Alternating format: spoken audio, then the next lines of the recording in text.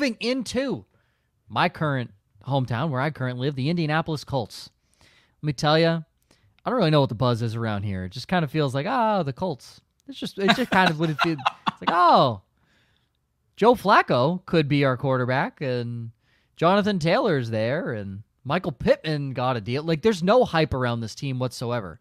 But there is a lot of hype for Anthony Richardson at quarterback five, which we'll talk about later because Mr. Ryan does not like him. Also, same coach, same offense. Shane Steichen calling the plays. Uh, Joe Flacco, quarterback 37 ADP. He was brought over uh, off his mother's couch from the Cleveland Browns. I love it. That is where he is now.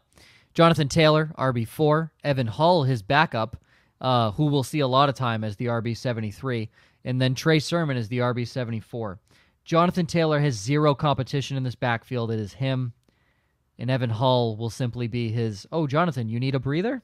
Oh, I Come heard. on out. I recently read Trey Sermon is outplaying Evan Hull. Yeah, that's Sure. why. Like when I saw these rankings, I'm like, really? People are taking Hull over Sermon? Yeah, that's Okay. shocking. I to me. agree.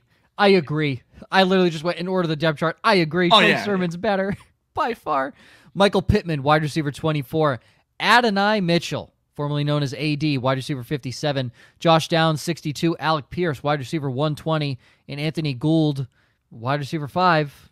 No answer. He's not There's being drafted. I say Scott returner right Fishbowl. Scott forget the Fishies. name. Jelani Woods, tight end 28, and Kylen Granson currently not being drafted. We will start at the tight end position Yeah. for the for the second time we go to that position because Mr. Matt Donnelly wants to talk about Jelani Woods at tight end 28. Saying tight end saw 32% target share with Anthony Richardson versus 19% with Minshew. So if Richardson's healthy, you really love Jelani Woods here.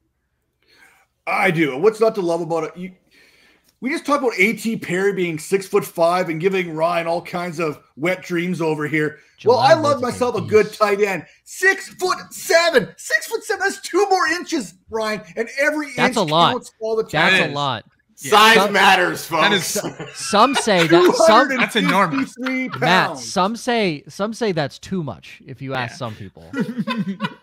Four six one forty at the combine. This He's guy. insane.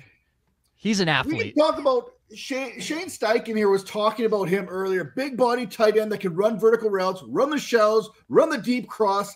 It's awesome to see. Obviously, he's a matchup for a defense that they got to prepare for. That's coming right from Steichen. Who else do they got there in, in Indianapolis? I mean, Will Malroy, Malroy. I mean, Malroy doesn't. Who? No, stop it right now. Will Mallory. The only thing that on can his stop, the only thing that can stop Jelani Woods is Jelani Woods himself, right? The and injuries. name. That's well, that's what's one. stopping him. Will Will Mallory sounds like the physical therapist Jelani Woods goes to for his knee problem. Probably. Yeah. It's probably that whole like Tonya Harding, take out the knee type thing there. That's the only way Malroy's going to get on the field there with Jelani Woods. I thought- love Woods. Tight end 28. I, I mean, he's the He's number great. one tight end there in Indianapolis. And if Anthony Richardson is going to be that QB5 that the ADP's currently got him at, which is a little bit higher than where I've got him at, 32% target share to the tight end position. Volume matters. If That's that crazy. volume is going to, if we're going to see any of that, if Jelani Woods even gets 25% of a target share, 20% of a target share, that's going to put him up in elite status for targets. It's going to be Michael Pittman. We know what he got. I think he got like 29% there of the target share with Anthony Richardson, maybe I think 26 with Gardner Minshew. But you know, Pittman is going to get his. By the way, I love myself some Michael Pittman. I think that our wide receiver 24 is horrible number for him. But Jelani Woods is a nice. Every year we see a tight end rise from the ashes of the tight end wasteland that is, and this is going to be that Jelani Woods Phoenix type moment for the tight ends in fantasy. Let the man eat. I mean, Let he- him he- eat. I, like six seven, two sixty. He runs a four six is insane. Yeah. He is an. If there's an athlete out there, that is that is one right there. He's a power forward playing tight end. With the, the, he has the athleticism of an NBA player. It's Yeah. insane. I love it. Um, it, it, fuck it. I mean, we, we always talk on this show. Ryan brings up all the time because he does his stream of the weeks. Jelani Woods, I can guarantee you for Ryan is probably going to see a lot of stream of the weeks 100%. this year. If he's healthy, 100%. yeah. I mean, Will Mallory made my list last year at points. So. Did he? Oh yeah, He- towards he the end of the pretty ugly season, he was getting involved. So, Jeez. Okay. How about that? well, they Uh, ran like seven tight ends last year, and Woods wasn't Yeah, they even a part of that group. They were all over the place. So, Before we go into who Ryan, I'm sure we'll spend enough time on, um, and I know the show's going to go over, but Josh, give me a little quick hit on Jonathan Taylor. He's RB4 this year.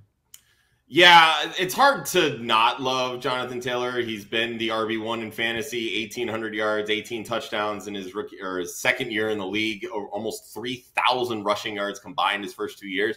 Dealt with some injuries the last couple years, so I feel like some people might be forgetting about it, but probably not if he's the RB four, right? But here's the thing: he loved Shane Steichen. The last three years, his rushing offenses have ranked starting in 2021, first overall, fifth overall, 10th overall. Some might choose to look at it as they've gotten progressively worse. I look at it as with a healthy Anthony Richardson, this could be the number one rushing offense in the NFL. When you have a talented running back like Jonathan Taylor with a quarterback that runs the football like Anthony Richardson, that is only going to open up more rushing lanes. Jonathan Taylor, if healthy, has a clear path to over 1,500 yards and honestly, probably 15 rushing touchdowns as well. That's a top three, probably the RB1 in fantasy, regardless of how many uh, passes that he ultimately catches, which I think is probably going to be in the 30 range. He has now dropped to RB5. He's actually at the top end of the second round. Screaming value. Screaming value. Jahmyr Gibbs has jumped him to RB4. So Jonathan Taylor currently RB5, uh, sitting three spots ahead in terms of overall being drafted, ahead of Saquon Barkley at RB6, which also feels like a little bit of an oversight there. So uh, the running backs definitely getting a little bit of disrespect with all the receiving game happening in recent years. And who brings up? I read about the Colts offense in a new article coming soon to Club Fantasy. I believe that will drop on Friday. Drop on I know Friday. the schedule. Go me, baby. So Ryan, I'm sure Hoove is going to talk about this guy, and this is going to be the most interesting game of Would You Rather ever because I think we might get to the double-digit points of time where we might be talking about we'd like this guy over Anthony Richardson. He's the QB five currently, and Josh dropped or Gator dropped. Excuse me. Field Yates has him as the Yes. quarterback three in fantasy football. Fucking ass. Yikes. So the issue with Anthony Richardson right now is the extrapolation game. Because everybody is looking at what he did last year. And the easiest thing to do is just take a game off because he essentially, two of his games he left at halftime. So you could say he played three games, though I think he only actually finished, start to finish, one game last season, but we won't get into all that. So he basically played three games last year.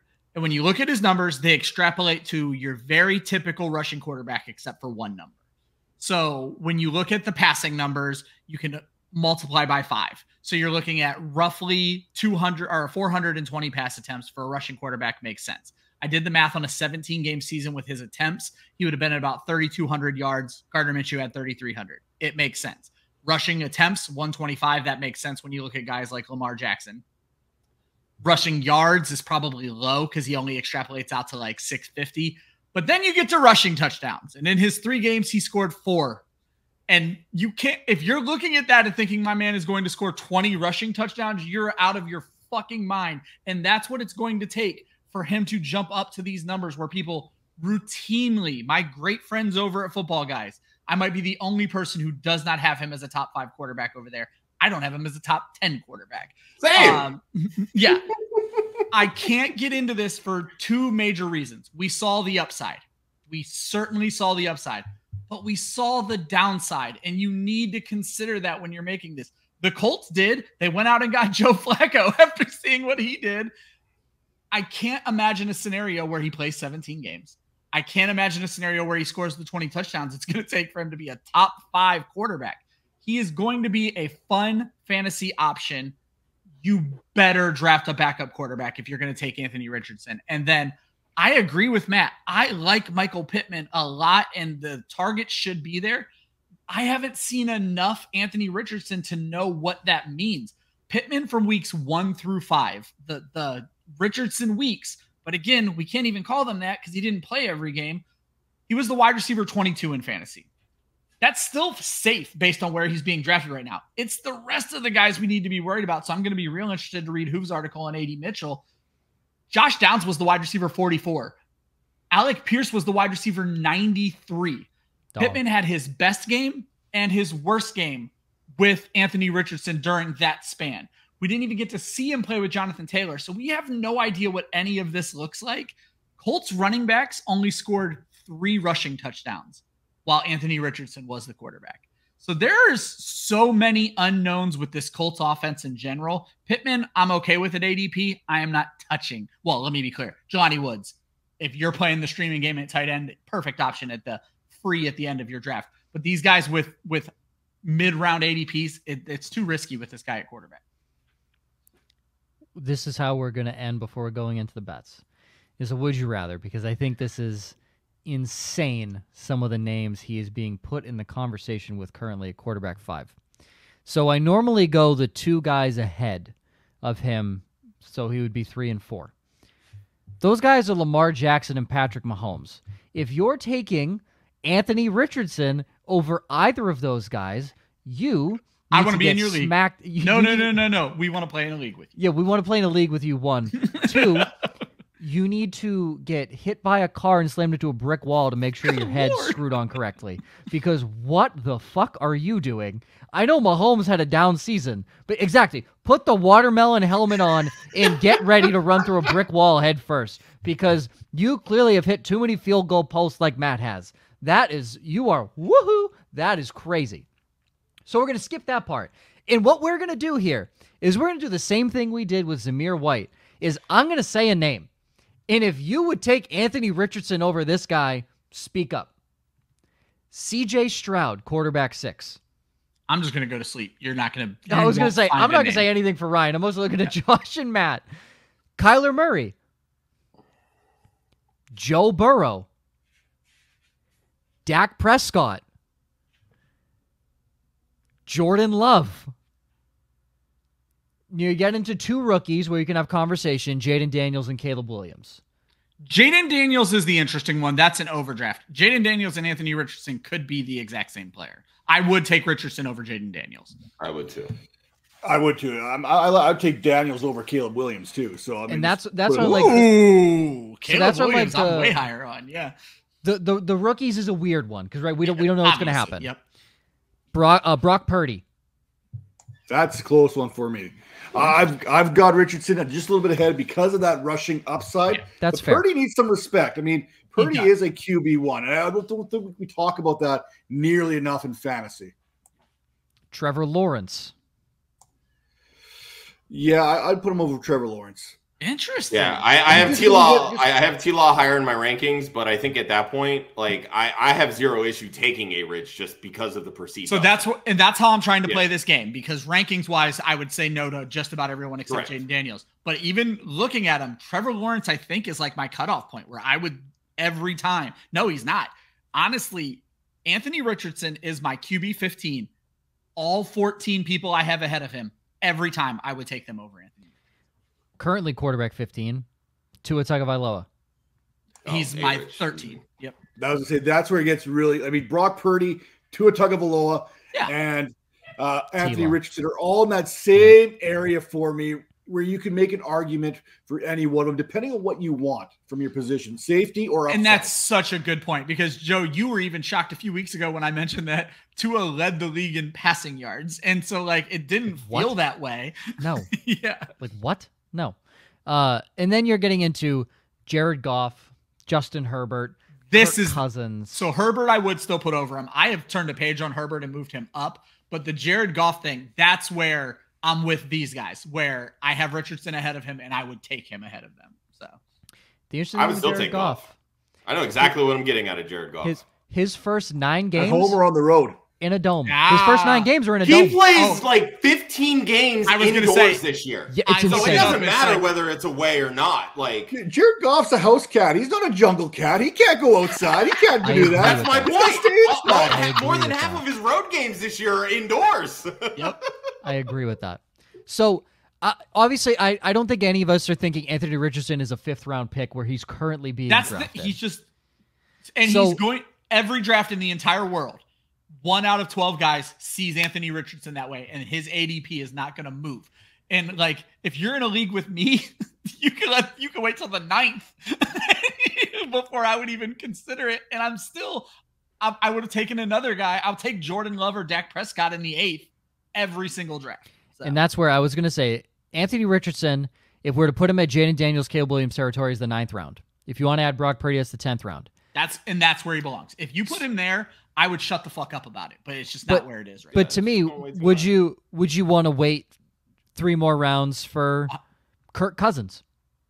Would you want to wait four more Yeah, rounds? Matt, I got I got the ick as well. I was like, But- eh, I don't know. But again, but hey, uh, you, would you wait four more rounds for Aaron Rodgers if you believe he's going to play all 17 games? I fucking hate Aaron Rodgers. I fucking hate Aaron Rodgers too, but there's going to be people that are going to say, "Yeah, I would, I would wait." That's So- a better game. We're way over, so I'm not going to get. That's a better game. Is the late round guys I would wait for if he was in the ninth round, but I don't want to talk about Anthony Richardson. Uh, no, that I mean, Yeah, but I that mean- we, we don't need to because we literally covered every guy fucking five Yeah. through 20 because th- th- there's uh, th- th- first off six through 10 he has no business even being in the same conversation. Exactly. That's my thing. Is when This is the look same thing these- we went through with, Ju- with Justin Fields. The guy can't pass. Did you guys see on Field Yates's post? Someone went and pulled this exact post from last year where he had Fields as the top five quarterback. This is the same thing. It's like rushing can only get you so far, and Anthony Richardson is a very different type of runner. He's not a Fields or a Lamar Jackson that is galloping down the field. He's He's, a a bruiser. bruiser like Cam Jalen Newton and Jalen Hurts. That- and Yes. Jalen Hurts is a six to seven hundred yard guy with a lot of touchdowns, sure, and I get that. But Jalen Hurts, when he was doing this, was throwing 3,600 yards, right? When you look at the top 20 rushing outputs of quarterbacks over the years, they're not high end passing volume seasons. And more to the point, they have a lot of starts under their belt when they did it. Anthony Richardson has like three or uh, four career starts. Four. We're a year too early on Anthony And- Richardson if and he one- gets to this point. and one career finish. Yeah. Yeah. He's just, we're Hey, way, finish it- way, finishing's hard, way okay? too early. Not everyone can finish. Okay, finishing's hard. Philip Rivers has no problem. Yeah, yeah, seventeen times, Yeah. baby. Dude, that man has a that man has a full fucking starting lineup. Yeah. But to to just to compare him to the guy who is true, like that's his comp. Cam Newton is fully this man's comp. hundred percent. It- this is who he is. But in today's NFL, they want to comp him to Hurts and Lamar Jackson. 100%. not who he is. Not it. But he he's he's Cam Newton. Cam Newton, I believe, was a better passer coming out. He he had his struggles, but he's a better passer. In worlds ahead, I think a better runner. I think Cam Newton only had Richardson. one season over like 62% completion percentage. I was One literally hu- just, what- I was definitely. literally just going to look But- that up. John. And I But- think that was his MVP season. It was, but on the ground, he was a fucking menace Oh, on the 100%. ground. Yeah. Which, like, again, Anthony Richardson is so far away from that. But Cam Newton also, I don't believe he was coming in with like pre-existing injuries and shit like that. That was really gonna complicate. And he didn't miss his full fucking rookie season. So no. like, he had 4,000 yards this season. yeah, it's- it's- Cam, Cam Newton played every game until his fourth season. I'm just happen to have it up right now. Played most games, never went out. To Josh's point, he flirted. It was every other season above 60, below 60, above 60, below Yeah. 60 on his completion percentage. he was and just, he was A-Rich built. last year in those four games was at 59 59.5. He was he's just built like a fucking fridge. And Richardson, while he is, is just more injury prone. So I don't know. It very interesting. Bets to finish it off. Ryan, you have the Colts score one rushing touchdown in every game of the regular season. This is plus nine thousand on FanDuel. And That I wild. I like actually, that, actually. love that fucking I bet. do too, yeah. I, love love, that, bet. If Anthony Richardson plays every game, That's a lot. He could play at 14 or 13 games as long as Jonathan Taylor is healthy. They're hitting this mark. Oh my god, that's that's a great bet. That is an Yeah. awesome bet. 10, 10 bucks to win 900? Sure. Lock lock me in on that one. Uh Josh, if Anthony Richardson under 3,200 and a half passing yards, This is literally what I was talking about. Just way, way, way too high. One of the best dual threat quarterbacks ever, not named Cam Newton. Um, Michael Vick, I think, hit 3,200 like three times in his career. So Yeah. it's it's not happening, folks. There's no, unless Anthony Richardson turns that's the thing. into It's just not MVP this Cam Newton. year. That's No. the thing. People are trying to hype him up way too soon. Even Jalen Hurts didn't take this big of a jump his second year in the league. It was the No, third year three. Yeah, year That's three. what I'm and- saying. We are and- way too early on A. And I always point out to people we don't hate players, we hate ADPs. It's the ADP Sure. is the problem. So. Sure. Yeah, because I love what Anthony Richardson could become, but he was a reach at oh, fourth overall because of the upside in the Shane Steichen offense that we saw from Jalen Hurts. But he was very unpolished even coming out of Florida. He's not getting more polished having sat out for 13 games this past year. It doesn't work that way. Hurts was unpolished coming out of Bama, moving to Oklahoma. He was a little more polished, but it took some time in Philly. Matt, you have Pittman, as you mentioned. You love Pittman over 950 and a half receiving yards. It's minus 110 on Draft Kings. Matt, can you can you gamble in Canada? Is that is that legal? Can you gamble? Dude, I gamble every winter in Canada. I, I don't wear pants until it's minus 50. Okay? Hell yeah. That ain't happening Hell up yeah. here. I'll tell you Hell what. yeah. I He's video. not he's not wearing pants. That might be the best line we've had on NPI in quite some time. No He's offense, not Joe. wearing pants until icicles are hanging from his sack. That's the that's when he puts pants on. All right. He's out there watermelon hat and just pasties just to block the nipples just in case. And everything else free balling. Don't worry, I, I grow my winter coat nice and thick here for the winter season, so we don't have to worry about a whole heck of a lot. Oh, I was gonna s- I was gonna But say whether does- you think Richardson's QB one or QB twenty, I don't think Yes. it affects what Pittman's going to do.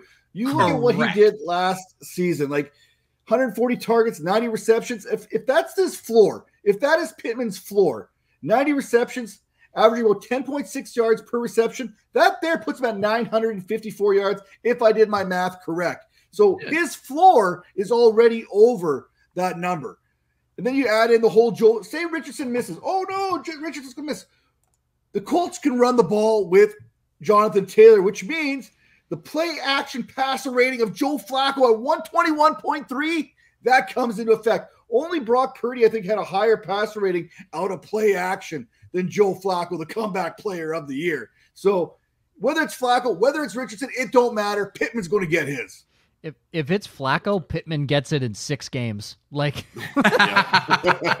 Amari Cooper dropped 300 in a game with Yep. Joe Flacco. Michael Pittman can do that as well. 100%. So, yeah, if if Anthony Richardson gets hurt, I think that actually helps Michael Pittman's over bet way more. And Oh. Jelani Woods. Those odds Oh. will change. If if Richardson were a preseason injury, that bet will be off the books immediately. immediately, Yeah. immediately, or his over jumps to like 1200, and then you're having a conversation there. But yeah, that if Flacco's in, it's easily over a thousand.